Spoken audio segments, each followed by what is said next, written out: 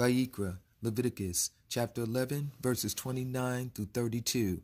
These also shall be unclean unto you among the creeping things that creep upon the earth, the weasel, and the mouse, and the tortoise after his kind, and the ferret, and the chameleon, and the lizard, and the snail, and the mole.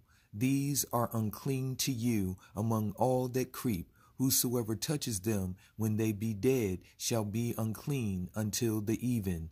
And upon whatsoever any of them, when they are dead, does fall, it shall be unclean, whether it be any vessel of wood, or raiment, or skin, or sack, whatsoever vessel it be, wherein any work is done, it must be put into water, and it shall be unclean until the even, so it shall be cleansed.